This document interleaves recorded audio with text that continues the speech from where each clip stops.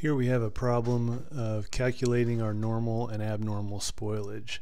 So you can see we have some data here, uh, work in process beginning, starting during current period, or started during current period, and the total amount to account for, which is the sum of the work in process and, and the amount started.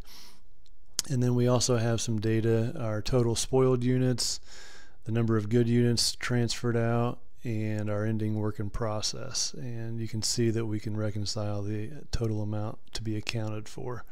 So our sample problem here we really just need to compute the normal and abnormal units um, and you can see some inf information here. Inspection occurs at 100% completion stage. That means that inspection is all the way at the end of the uh, production process and normal spoilage is 3% of good units passed through inspection.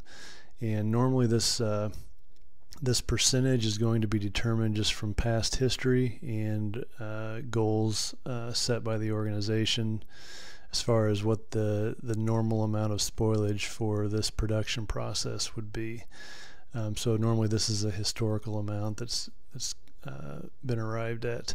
So to complete the normal and abnormal units, first of all, we need to look at the total spoiled units. Uh, we have 12,720 and we need to figure out how much of that is is normal. And so we know that normal spoilage is 3% of good units passing through inspection.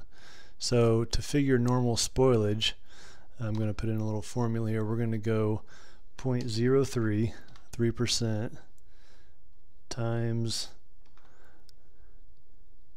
the normal the, the number of units passing through inspection.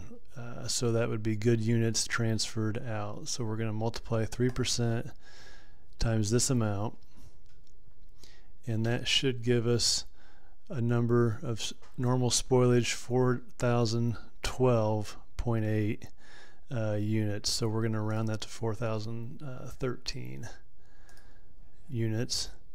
And the abnormal spoilage then would be anything uh, that's spoiled beyond the normal spoilage. So here we're going to be able to figure uh, this amount and subtract out normal spoilage and we get our abnormal spoilage. So this is the amount of normal spoilage we had.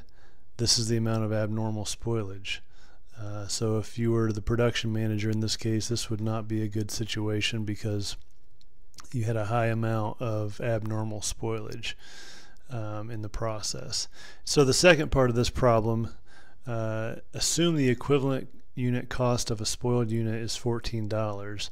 Calculate the amount of savings if all spoilage is eliminated.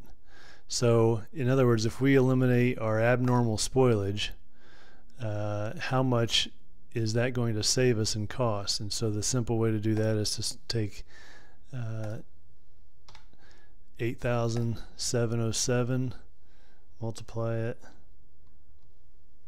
times the $14 equivalent uh, unit cost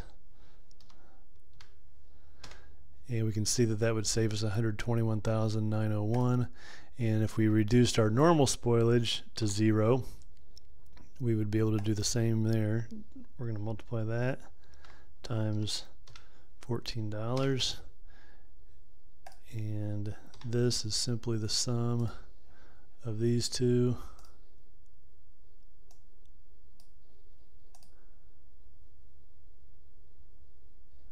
So our potential savings would be $178,080 if we were to eliminate all spoilage. And of course we could look at if we just eliminated the abnormal spoilage, we would save uh, significant costs as well. So that's how you complete uh, compute abnormal and normal spoilage and you can see the potential savings if we were to eliminate those.